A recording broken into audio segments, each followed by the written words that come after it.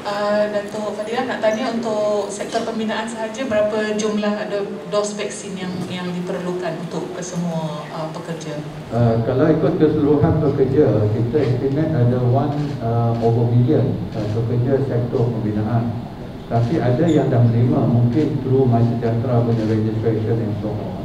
Uh, that's why apa yang dilakukan dari CITP sekarang ni ialah untuk buka kan. Sebab program ini volunteers, uh, voluntary punya program. Dia orang boleh buat sendiri. Kalau syarikat-syarikat nak buat sendiri pun mereka boleh bentang pada CITF uh, dan syarikat itu yang besar-besar for example uh, macam Gamuda dan sebagainya ada 5,000 pekerja dan sebagainya maka mereka boleh buat sendiri.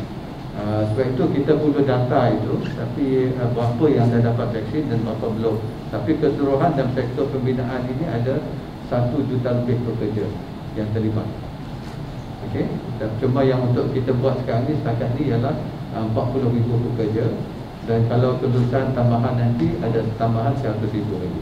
Itu untuk permulaan lah. Pada uh, pekerja yang bakal menerima vaksin ni akan dipanggil menerusi sistem MySejahtera ataupun mengikut kepada syarikat masing-masing. Terima kasih. Uh, apa yang dilakukan CIDP dah buka untuk pendaftaran.